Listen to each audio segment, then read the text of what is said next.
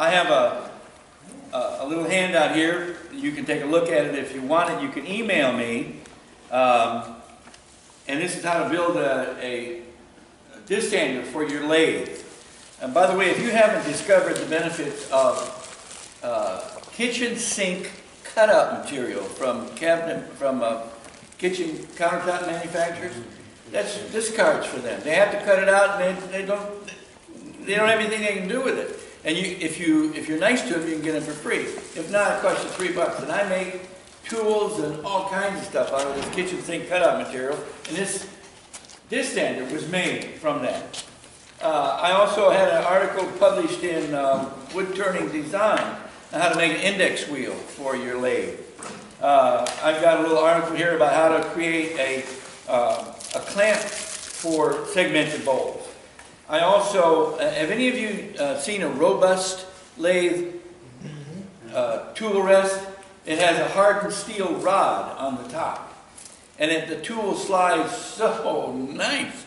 And you can make your own with some steel angle and buy hardened uh, drill rod and epoxy the rod to the top of the steel angle. Works perfectly. I got a, a handout for doing that sort of thing. I turned my first bowl. I know it's hard to believe as young as I look, but I turned my first bowl 59 years ago when I was 14. That tells you how old I am.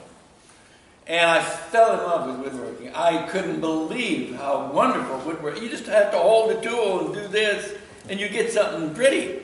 And so I became a woodworking teacher. And uh, in my first year of teaching woodworking, I was. There weren't books. This is back in the 60s, and there weren't books on segmented turning and turning green wood and everything that there is now. In fact, I saw Richard Raffan on a book, on the cover of a book. He was in a pair of shorts. They call them stubbies in Australia. They're really short shorts, thongs, and a singlet. And that's what he was turning in. And I didn't know who it was, but I thought that guy has to be an Aussie because that's the, that's the Aussie uniform. It's a singlet, a pair of stubbies, and thongs. And uh, so anyway, I, there, weren't, there wasn't anything to teach you how to do stuff, so I was trying to figure out a way to make segmented bowls, although I didn't even know the term segmented bowls. I just wanted to glue some wedges together, teach my boys how to turn a bowl, and I thought it would look pretty. And uh, I was I was not being careful and running a piece of wood on the joiner and it hit a knot and flipped, and I ended up nine and a half fingers. And uh, and so I didn't do any more turning for a while. And then I ended up in Australia for four years where I taught. And I did a little turning there, but not much. And I came back to the States in 84, sold all of my tools. Wasn't, and I just didn't want to do anything. And uh, when I turned 60, I decided to go back to Australia. And a picture on my website. By the way, if you've got a pen and you want to know my website, it's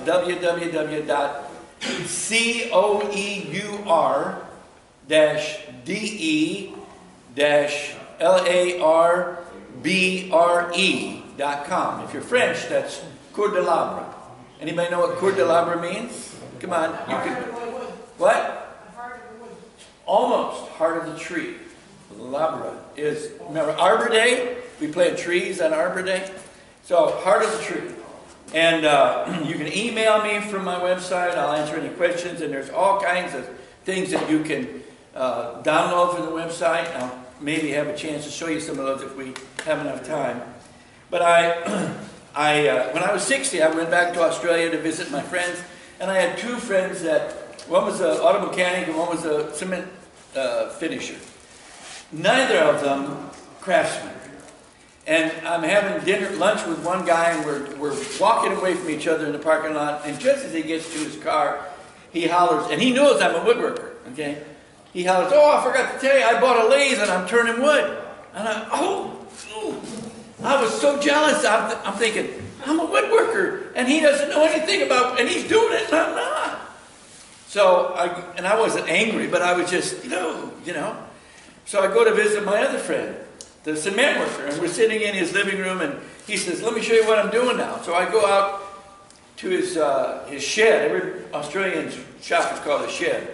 And he's got an eight-foot tall bandsaw that was built in the 1890s, sitting in uh, his shed and he has a home-built lathe made out of uh, train rail and angle iron just cobbled together with terrible welds, and his tool is a piece of galvanized pipe about five feet long with another piece sticking out and a piece of tool steel welded onto the end.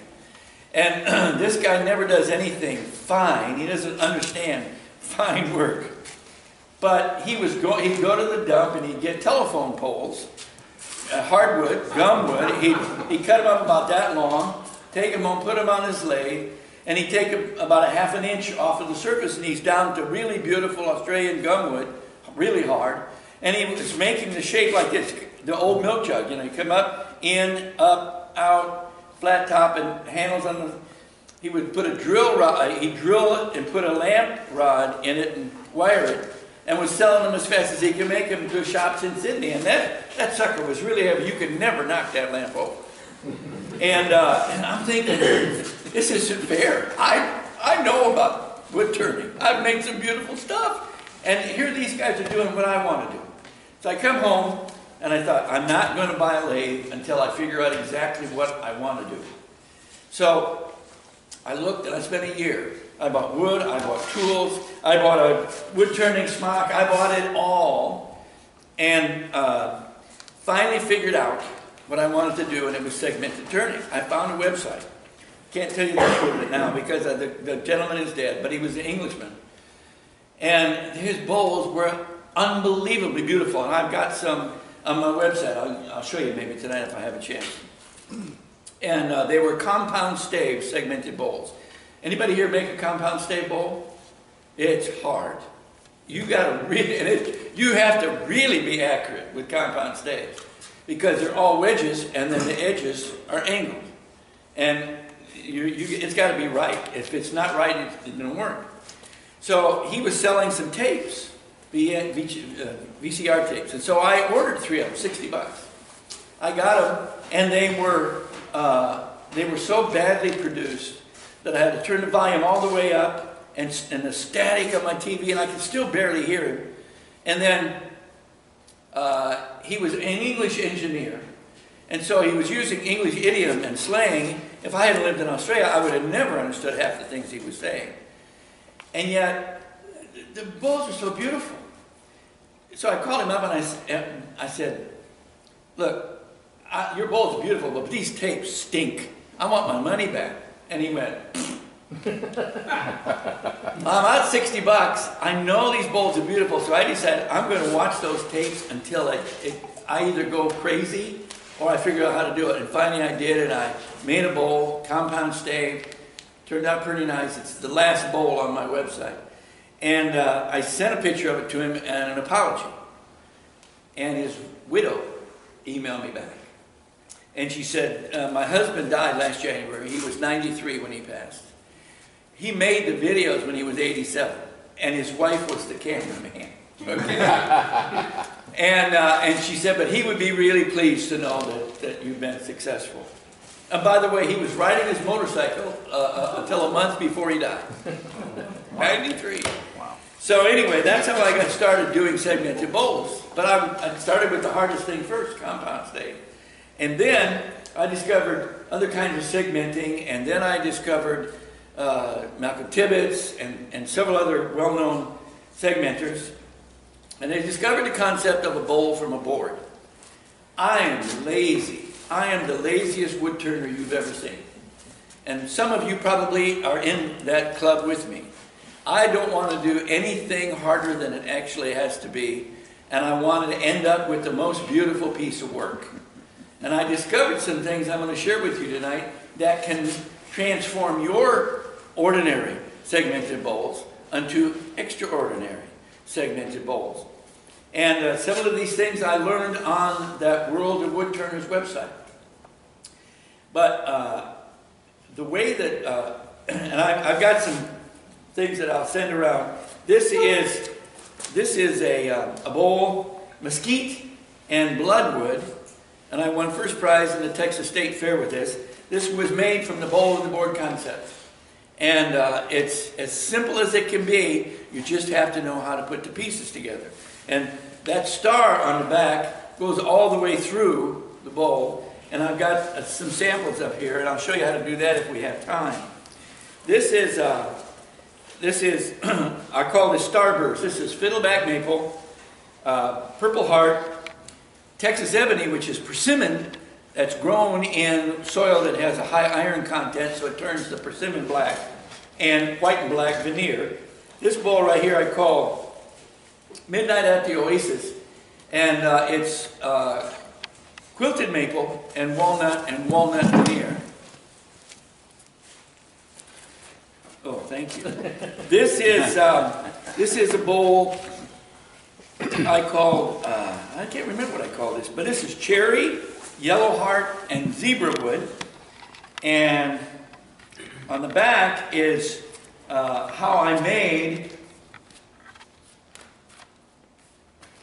Now, I'll pass this out because these are the, the, the photos that show how I made that, this bowl. And these photos show how I made this bowl.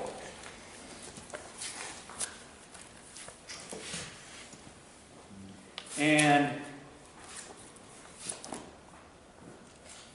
uh, you can take a look at those. And basically, they're all made with the same method with just a few tweaks. And, and so what I've done is I've, I've, I've uh, if you come on Saturday, you need to bring two boards with you. About, depending on the size of your lathe, if you can turn a 12 inch bowl, then two 6 inch boards, 12 inches long. Uh, if you've got a 10 inch lathe, then two 5 inch boards, 10 inches long.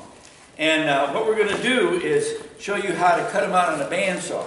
And even if you don't have a bandsaw, you need to learn how to do this because you're going to want to get a bandsaw because this makes it so easy.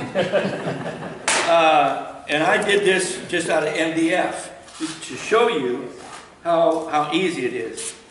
you, you, and I'll show you in the demonstration, but uh, you draw, you put the two boards together, you take a compass and you draw concentric circles. And how, you make the circles as wide as the board is thick. And then when they're all, circles are drawn, you take the two boards apart, you take one board on your bandsaw, you tilt the bandsaw 45 degrees, and you start cutting that first circle out. And then you cut the second one, and you cut the third one, and the fourth one, and the fifth one. And then you stack them and glue them together. And the thing I love about this is you, you waste almost no wood in making that bowl. And so one of the things I learned from World of Woodturners is if you want to make a beautiful bowl, buy beautiful wood. Buy highly figured wood. Because if you're going to do it like this, you're not going to waste anything. And so it's not going to really cost you that much, and your project will be that much more beautiful because the wood is showing itself. Uh, the other thing I like about this is there's because there's no waste. All you're all you're really doing once you've gotten the thing glued together is you're smoothing it with your lathe tools, and then sanding it. And um, I, I use a right angle die grinder. You buy them Harbor Freight for nine bucks, air power, but I never hook it up to my air compressor.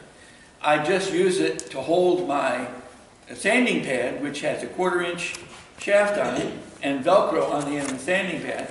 And I use uh, Velcro, I'm Klingspor uh, sandpaper is cheap and it's really good. I buy uh, five inch discs and I take a galvanized uh, pipe nipple and sharpen the end. If uh, if you buy this size disc from Klingspor, it costs 30 cents a piece. If you buy this size disc and punch out three, it costs you 15 cents a piece. So huge savings. I'm now down to using one inch discs on my sander because if you use those kind of uh, pads for sanding, you realize you're only using a half inch outside edge of that sandpaper. So uh, that's another thing that I really uh, makes my uh, sanding go well. So let me go ahead and get started. Gene, would you uh, click it?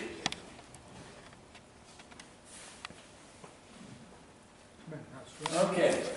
Now, this is a demonstration I gave in Australia. Forgive me, they're metric and, and you guys will just have to convert on the fly. Uh, go ahead, next one. Gene's uh, over 80, he's a little slow. Come on, Gene. What do you mean a little slow? That's the bottom. Come on, guys. Oops, That was like. we just lost the presentation. Who else wants to help? Stamp them together and uh, find the center. Next. And uh, in this particular case, 18 millimeters was the thickness of the board. So that's how. That's why I made uh, the circle sticker. Go ahead. And when you do that, if it's square, then it's 45 degrees. Now you can make any angle you want, but it's easier when you're starting out just to do it at 45. Next. And then you just start cutting out. Next. So I'm cutting out the inside, keep going. Next. Next. You can tell it's me, you see the stub. Next. Next. And then you, that's what you're left with. And, uh, and one of the things that the guy, this Englishman, taught me is the power of hot melt glue. I, I, I put a faceplate onto a piece of MDF, turned it around, and, and, and marked with a pencil some concentric circles on it. So I take that, once I've got it glued together, and I center it on that faceplate, and I put hot melt glue, not all, not all the way around, but just on spots. And that really holds it on the face plate. So then I turn that bottom recess. And once I've turned that bottom recess, if I want to, and I'm fearful that it might come off, I can put my tailstock up to the end and turn the outside and get it all done. Or, or I could just take it off and put it on my scroll chuck and turn the inside and the outside. And you never have to touch that foot again, and it's finished, except for putting a in. Next. So that's what that bowl looks like. Okay, when it's, go ahead, next. When it's stacked up. And I put that one together because I was rushing to get it. yes. Did you just put those pieces together and- so you have one seam, or did you stagger them? I staggered them. You'll see it in just a second. But I used epoxy on this to put it together quickly. Go ahead, next. And I used the, the, the best clamping device in the world. Next, rubber bands. Okay, I use rubber bands almost exclusively if I can. Next. Two rubber bands on there. And then when the glue is dry, all I got to do is sand it flat, top and bottom. Next. And then, in order to, uh, I have a drum sander. Many of you might not have one, but if you have a disc sander, you can still flatten them on your disc sander. So I put a couple of tacks of glue on the inside of that disc. Next, and I mark the surface with a piece of chalk. If you don't have chalk in your shop, you're missing out on one of the best tools. I use it for everything. And then next, I hold it up to the, I have a 20 inch lathe, so I have a 20 inch disc sander. That thing is beautiful. It's amazing. And uh, next, and I just, my fingers aren't anywhere near, you know, I can't afford to lose any more. So my fingers are not close to that sandpaper, but I'm able to flatten that surface. And I do that with each of them. Next. And, uh, and then I stagger the joints. And this one I just staggered them, you know, 180 degrees. Next. And then that's one clamping fixture that you can use before you put the bottom on. It's real cheap if you, you know, don't have a big thing with a wind down clamp. You can do that to glue them together. Next. Or that's a clamping fixture that I made and I have a handout to show you how to do it. And I have a friend on a website, that you can print it out if you want it. Next. And then I turn that little recess, put my chuck in there, but I've already turned the outside. And of course I use bird's eye maple for that. So it's, it's already going to come out looking great. Next. So that's the finished bowl. I don't like the fact that I can see the seams, but it was a really quick, easy way to get a pretty nice bowl made. Next. Next. Okay, now I made one. This is Australian lacewood. It's really hard. Anybody use Australian lacewood? It's beautiful wood, but it's hard. Did the same thing. Next. Same concept. Now I got a little bit of a rim working on this one. Next. By the way, that's a kitchen sink cutout turned upside down. I use those things all the time. Rubber bands holding it together. Next. And that's the bowl that, that it turned out to be. Uh, and you can end up with a beautiful looking bowl with- very simple method. Next. Okay. And, and the thing I love about it is that you don't have all those wedges, okay, on each uh, ring. Next. That's uh, uh, the ring press. You can build one of those things. Really simple. The the uh, it's a bookbinder's clamp that you buy from Woodcraft or uh, Rockler or any of those places. It Costs about 15 bucks. Everything else you can buy uh, in the hardware store, have in your shop. Next. Okay, this one is uh, was a commission. I call it Anniversary of Vink, the 20th anniversary. This guy said to me, I want to give my wife something every year on our anniversary. I have a craftsman make her something out of the same number of pieces that we have celebrating years. So 13th anniversary, I had her something made that had 13 pieces in it. So he said, this is our 20th. You think you can make a bowl out of 20 pieces of wood? I said, sure. And I actually photographed the whole process so that she could count each. Go ahead, next. And cherry and ebony. And that's the bowl that I ended up with. But there's a little subterfuge going on here. But I'll tell you what it is, but you couldn't tell it by looking at the bowl. Next. So this is how I started out.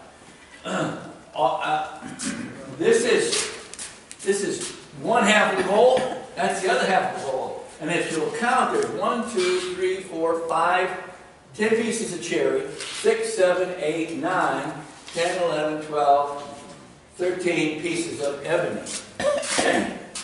Good, difficult to see, but it's between, the ebony is between The, the. the ebony is actually standing up, it's an eighth of an inch thick, standing up in between the pieces of cherry. Next. So I'm getting ready to glue it all together using, uh, uh, kitchen sink cutout material, because glue doesn't stick to that stuff, and wax paper. Go ahead, next. And I, I glue the, these pieces together, but I don't glue the two halves together. Uh, two, each of the pieces in each half are glued, but not the middle joint. Next. So there they are, all glued up. Next.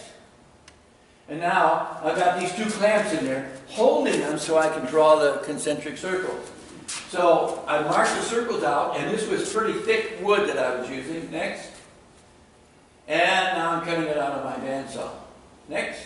Actually, I think that wood was like an inch, an inch and an eighth. It was really beautiful stuff. Next. So there it is.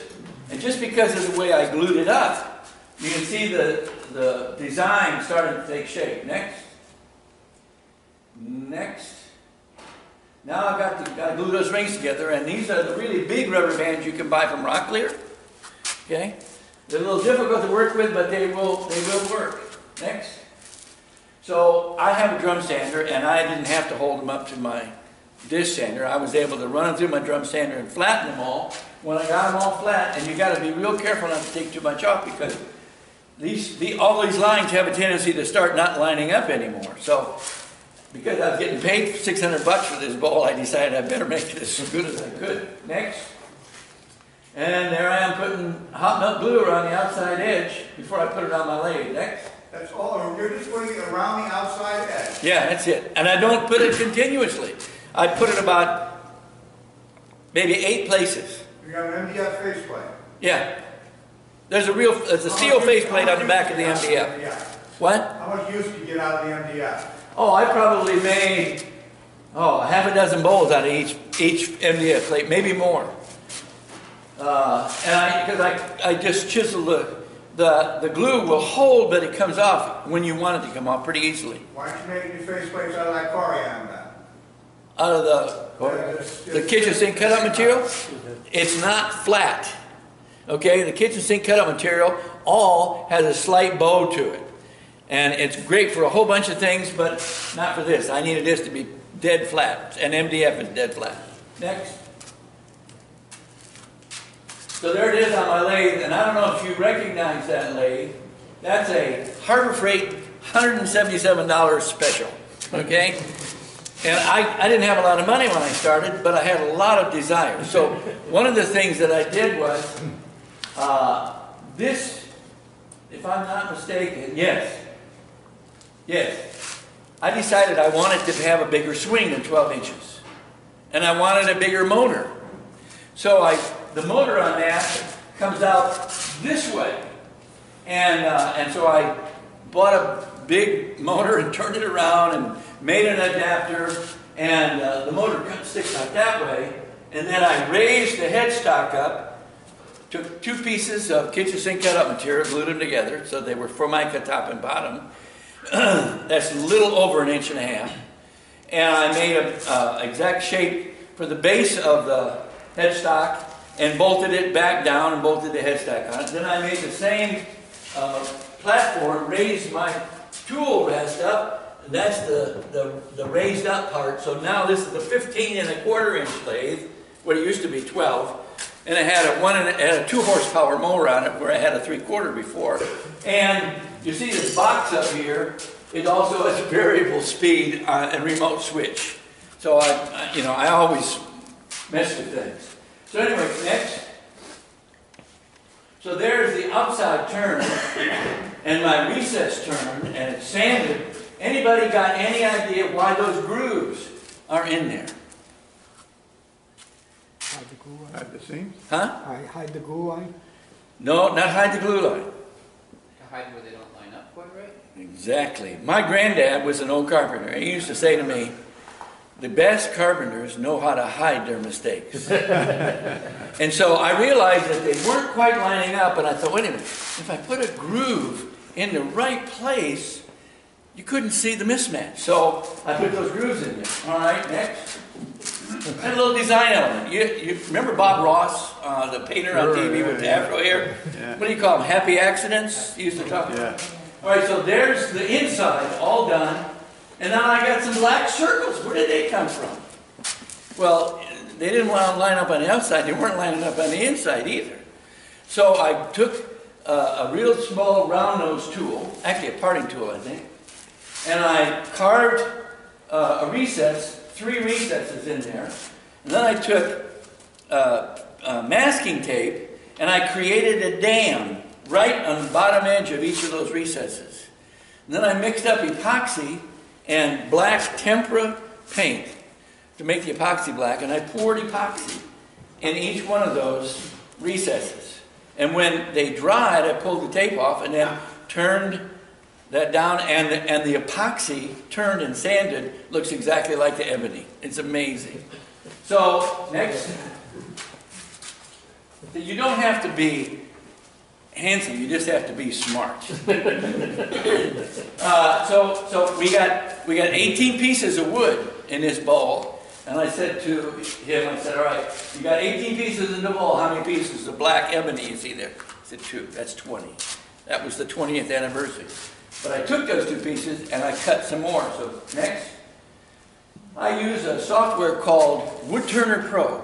And I would encourage each of you to go online and uh, download it. You can download it and use it free for a month.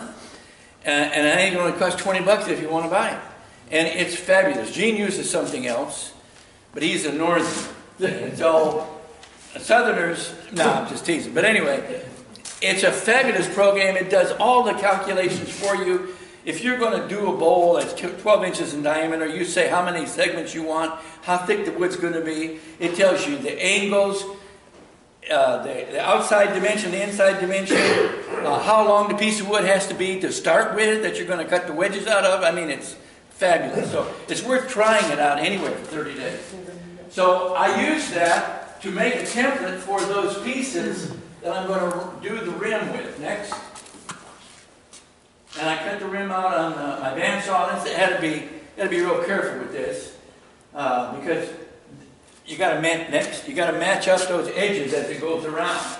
Okay, so I got it as close as I could to the template. That template was produced by the software. Next. And then individually, I epoxied those pieces on using masking tape to hold them in place. And so I would do, you know, I would keep going, and, and the ebony stuck out the inside. It was it was wider than the bowl was thick, so I had some play there. And then each time I laid a piece down, I had to play with that joint so that it would be just right until I got to the end. And fortunately, I was careful enough that it all worked. Next. And uh, now I'm turning the rim next. And that's the bowl, and you see my seal. in the bottom of the bowl, epoxy in place. And, uh, and he loved it. The guy loved the bowl. I don't know about his wife, but he loved the bowl. And me, which was satisfaction for me. Next, and that's what it looks like. Now, I use a homemade uh, finish, and I would encourage each of you to go to Wood Central. Russ Fairfield is the guy's name on Wood Central, and he, he is the master guy of finishes. And he has a homebrew uh, formula for, for finishes, and I use his formula.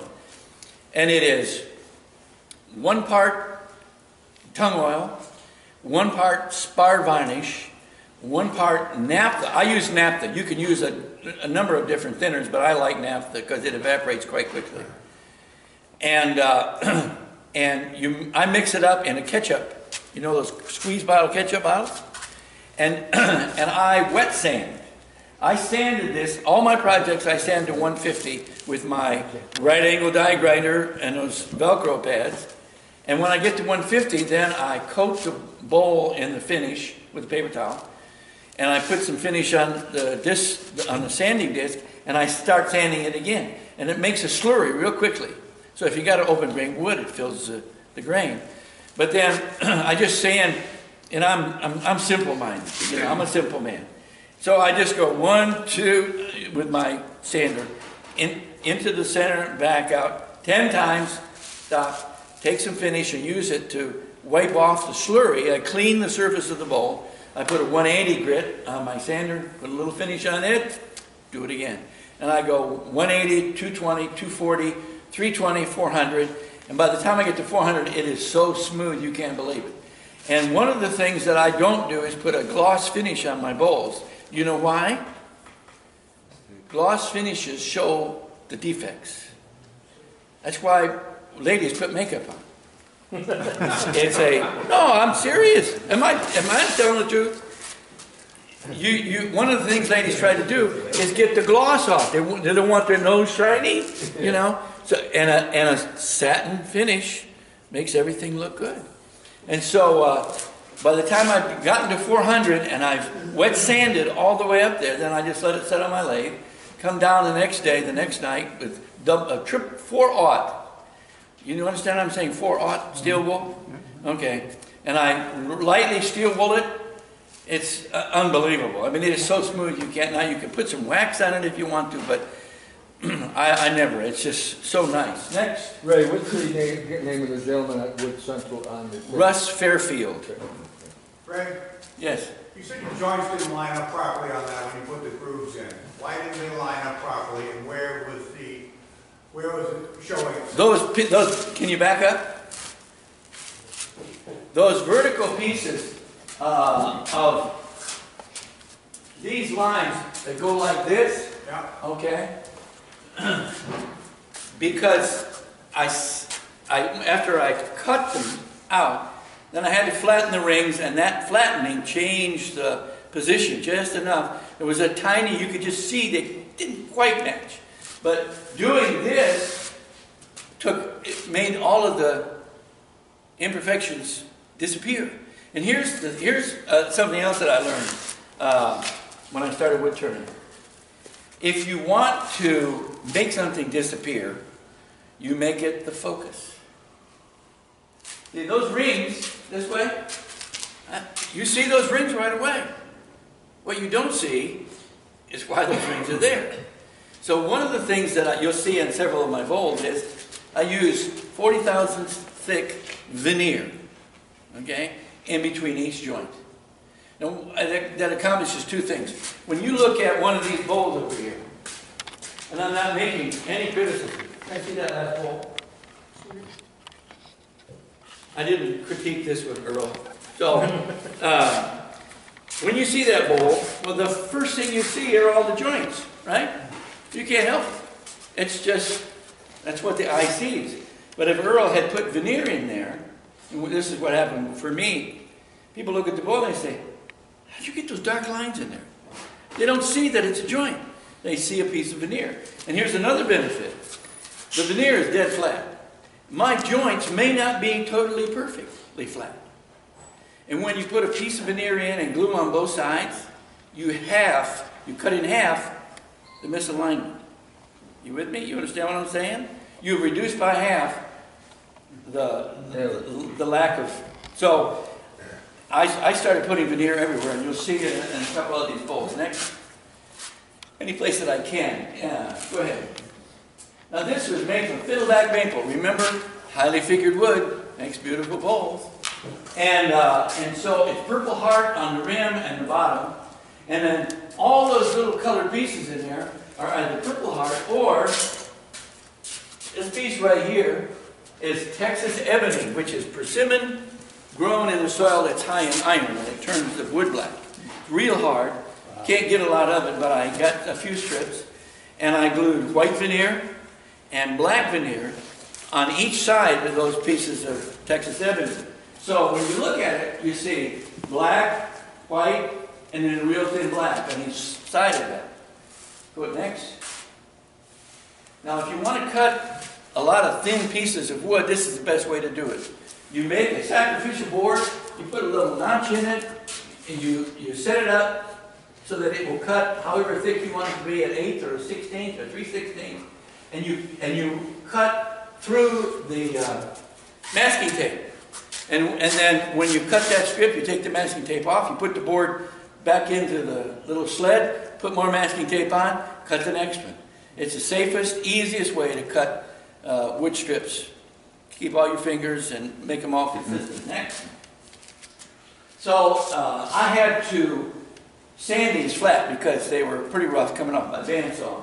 I mean my table saw. So I made this sled with carpet tape next, and I ran them underneath my drum sander. But this is how I clamped those four pieces of veneer to the middle, the middle piece of Texas ebony. Next. Oh, by the way, those cauls, what are they made of? Kitchen sink cut up material. Yeah, next. And so there are my pieces. I'm getting ready to do this. Now, this is going to look different than some of these other bowls that I've done, but it's all the same method. It's just tweaking how you put the thing together. Next. So now I've got all these wedges, okay, with purple heart and a piece of laminated persimmon and veneer, da da da da da, and I got a, a radiator clamp uh, holding everything together. This is uh, God's gift to wood turners. How many of you use radiator clamps? Okay, good. Uh, I won't bother opening it, you know what it is. But, um, so what I did was, I, I decided, see how they're all numbered? 1 through 24. So this right here is my half joint, okay? So I glued all of these pieces together, and then I glued all of these pieces together, but no glue in the middle between the two halves. And what I did was I took those two pieces of purple heart out, and I put two quarter inch dowels, just standing up, inch tall, in that joint. And when you tighten up that band clamp, the dowel allows the pieces of wood to move to find the true CD. Fitting. Okay, so once that's done next, once that, there's the two pieces of dowel. Okay, so you can see that the, the joint here is bigger in the middle than it is out on the end. So there's a, you know, all my wedges weren't perfect, but I'm getting ready to make them perfect. Next. So they're all glued up, and now I put the band clamp back on. I cut that little piece of MDF so I can get a center for my compass. And I drew all the lines that I needed to draw on it. Next. Take the band clamp off, take those two pieces of purple heart out, and I start cutting it. Next. Next. Now the, the, the rubber band action again. So I get them all glued together, but to glue the two halves together, remember I took out those Oh. two pieces of purple heart. So I had to cut them up into sections. And I had to had a little section of purple heart in each half, two of them. Next. And in order to then get rid of them, then I had to take the coping saw and cut the excess off after the glue dries. Next. There they are, all ready to be stacked. Next. They're stacked together now. Obviously, I didn't do a very good job laying this thing out because I shouldn't have those steps. All right, but it didn't really matter. I had plenty to work with. Next. So I clamped them all together and I offset the joints. Okay? Do that for a couple of reasons. One, it makes it much stronger. And it keeps people from seeing any misalignment, okay? You tried to line everything up, you couldn't do it. Next. So I put Purple Heart on the bottom, I put it on my uh, MDF faceplate, just barely fit. And uh, that was before I did the modifications to my lathe, because there's that old motor sticking out there. Uh, but I had that recess, so I turned it around. Next. And I, I finished it on the inside. I actually put a, a Purple Heart uh, rim on it, and uh, and that was that bowl. Next, I think it's a finished picture. Next, yeah. So that's the that's that bowl. Fiddleback Maple with Purple Heart. Next, I call that one Starburst. Next, okay. Now this is uh, bamboo and Purple Heart. I have two uh, bamboo and Purple Heart bowls. Next. This one, that the bamboo was a bamboo board. Any of you have seen any of those bamboo boards? You can buy, but they're not cheap. But they had a piece at uh, Rockler one day. It was like two feet long and 12 inches wide, dead flat, and all laminated bamboo. I said, I'll take that. So I brought it home and I cut it up. So I've got two, I've got four three-inch pieces of bamboo. And I cut pieces of Purple Heart, and a piece on the left and a piece in the middle of the same thickness. Piece on the, on the right is half the thickness of the other two pieces. Next. Because I'm going to glue them all together to do the bowl from a board. So, but I want the, the middle to be the same width as the others. Next. So there they are. I've already cut them out. Next. And there they are. I did a better job lining that one up and, and setting my bandsaw. Next. So uh, that's getting ready to be turned. Next. Oh, I got a flat, so I put uh, carpet tape on this piece of, uh, actually that's a piece of material that's got plastic on it from uh, Home Depot, because I knew it was flat. Put carpet, uh, double-sided carpet tape on it, stuck all the pieces down, ran them through my drum sander. There's a lot of ways to sand it, I just did it that way. Next. And then there's the bowl. I've turned the outside. I put my chuck in the uh, recess in the foot. Next. Turn it around. Now it's getting ready to be turned and a rim put on. Next. Next. And that's the inside turn and uh, the rim is flattened in preparation for a, a rim. Next. Now I'm, I'm, I'm uh, cutting that, and I was talking to Earl, I think, uh, about when I'm doing anything to keep the wood from chipping, I typically use a parting tool on, when I'm uh, facing off the edge of that rim, I come at it from this direction, not from this direction. It, it, it's much easier to turn.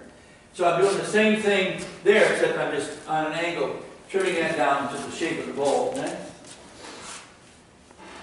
And next. Now I'm shaping the rim. Next. Fred, Yes. it seems like using the expansion joint on, on the scroll chuck, to get the back of that, you get a very small area of pressure gripping on a, a, a wide hole. Yeah. It's kind of counter to everything. Well, first of all, if you're using really hard wood, and Purple Heart is really hard wood. I don't know if you use Purple Heart much. It's really hard. And you and those scroll chucks, and it also depends on the quality of the scroll chuck. Some scroll chucks aren't as good as others. you want a really good scroll chuck, buy a Oneway. And both of my scroll chucks are Oneway chucks. Okay, that's the top of the line. They just work. They fit everything. I've only had ever had one bowl come off a lathe, and it was because the foot was like that big around. It was the first, second bowl I ever made. The foot was too small, and and it was poplar, not hard. Okay, next. And then that's the finished uh, bowl, and I did a pretty good job of getting everything lined up, so I didn't have to make any subterfuge there to hide the joints. Next. next. Okay, now this is another bamboo and purple heart. Next. And uh, this bowl uh, is admired but not purchased. Most of my bowls sell for between five and eight hundred dollars. And this bowl, that bowl right there is that big around. And, and this is a bowl from a board So you can see, we started out with real simple stuff, but this is exactly, made exactly the same way. It's just how you choose to line the wood up. And this uh, has veneer in it as well. Next. So I did, I was real tricky with this one. I took a, a, I took a piece of the bamboo, it was three quarters of an inch thick, and a piece of the purple heart, and I resawed them on my bandsaw. So I got a quarter inch piece and a half inch piece. Now they weren't quite a quarter, quite a half, but they were close. So now I take the quarter inch piece of bamboo and the quarter inch piece of purple heart and I glue them smooth sides together. Okay? So now I got two boards that are half, not half, but partially purple heart and partially bamboo, but they're alternate. And so I then, using my software, determined how big a bowl, I already figured out how big a bowl. I do that first. How big a bowl I want to make, how much wood I have to have, and, and uh, how big my wedges have to be. And all these wedges were cut on my chop saw. Okay, my miter box saw. Go ahead next. Uh, and I glued that piece of plywood on there so I could draw the circles. Next. Next. Next. Next. I'm cutting the thing off. Next. Now there's the middle. I've got each of these halves uh, glued together, but the two halves aren't glued together. Next. Now you can see half bam, you know, the quarter bamboo and the half purple heart. And they alternate. Okay?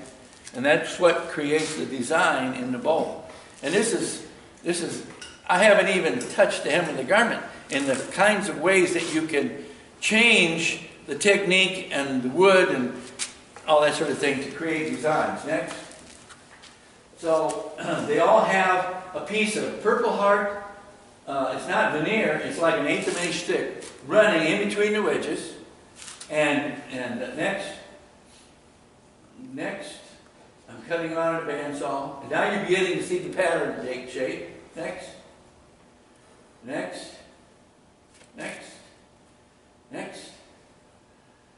Now we're really looking at what the bowl, and I all, and you offset all of those things, and what you're doing when you're offsetting is you're actually creating a pattern flow on the bowl. Next. And that's the, the finished product. And that, um, trust me, that is a beautiful bowl. And uh, I had everybody that came into the gallery where the guy was displaying it wanted to hold that bowl. It is that beautiful, that pretty. Next. Okay, one of the things that uh, I want to tell you about, and I didn't realize this was going to happen, but uh, I have a friend who an Aussie, Aussie guy, who needed to make an, a funeral urn. But this works for any kind of box you want to make. And uh, he said, all you got to do is go to Home Depot or Lowe's and buy some PVC pieces. This is a cutout for PVC. And uh, next, and put it in your chuck. I expanded on the inside of that particular chuck. Next and smooth the outside edge. Next, take a real thin parting tool and shape it. So, and, and that's, the, that's this piece right there. Okay, so I, I, I now this was just meant for a demo piece, but I decided I knew how, what diameter that needed to be, and there's a step in there. So I created that, and then I created the lid to fit the other part next. And that's this part, and I, I don't need all that thread, I just need a little bit. So next. And I cut off what I needed. Next. Glued it onto the deal.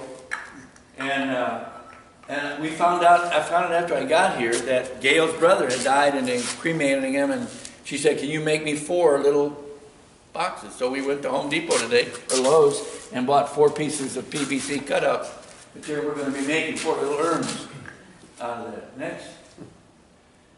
And that's, that's what they basically look like. Okay, is that it? One more. Yep, that's it. Um, but the bottom isn't pretty. And it isn't have anything to do with the rope or the wood, but it's so easy to do something like this. And think how much more attractive the, that bowl would be than having that in the bottom when you look in there and say, wow, how do you do that? And trust me, this is, this is like falling off a log. Once you learn how to do it and set up a jig, you cut these wedges and you glue another piece of contrasting material on the wedge, and then you put it on your disc sander and lightly sand it smooth, so you get all of these wedges. And then, and you got a, you know, contrasting color. And then, remember, I'm working on two halves here. But I don't want anybody to see my joints, so I glue veneer to one side of each of these wedges to hide the joint. And then I glue this half of the wedges together, and I glue this half of the wedges together, and once they're glued together, then I true them up in my disc sander, and then I put one piece of veneer down the middle, put the radiator clamp on and glue it together, and you got this. This is basically the same concept. This is a little more difficult, but it, on my website there is a handout that you can download and uh, shows you how to make. Of course, I'm, I'm, this is the Lone Star State, and I got to have this. and uh, I won first prize at the Texas State Fair with a, a bowl made from. And this is actually I made two of these. This is mesquite, ebony, and bloodwood. And uh, one of the things I discovered too late initially, but if you're smart, you'll take a piece of wood and you'll set up your bandsaw and you'll cut this in half. so you've got two of them for the price of one, and it doesn't need to. And I and I cover it up on the bottom with a seal. You don't even see it coming through. So uh, that's another thing that uh, that I've done. I hope you've enjoyed my presentation tonight, and if you're interested in a hands-on learn how to do it all uh, in Gene's basement on Saturday. Uh, you need to, uh, we got a sheet here. Uh, do we have a sheet? No, I got, I got my address on cards and, well, no, I don't. I don't. But we need to know tonight if you're going to come on Saturday. If, if, if nobody's coming, I may go back to Texas. So, What's your? Nine o'clock, 9 o'clock go twelve. till 12. You, you have to bring the beer, though. What's your website again? Use, use the plain one? It's www.coeur dot D, oh, sorry, C-O-E-U-R dash D-E dash L-A-R-B as in boy, R-E dot com, Coeur de l'arbre. Well, you can just Google my name, Ray Lanham, and it'll come up. L A R B E. L-A-R-B-R-E. It's in the newsletter. If you look at the newsletter, it's up on the website. But, but just Google my name, Ray Lanham. Now let me just take a second, if I may, uh, and I'm gonna show you my website. Uh, 'cause some of you haven't seen that. Help me here, will you? I turn, but I don't do electronic. Uh, Right, yeah, that's it. It may take a while. Good luck, everything. That's uh, me. Oops, wait. That's the night you went out in the friggin' outback. No, that's actually on the Harbor Bridge. That's standing on the Harbor Bridge.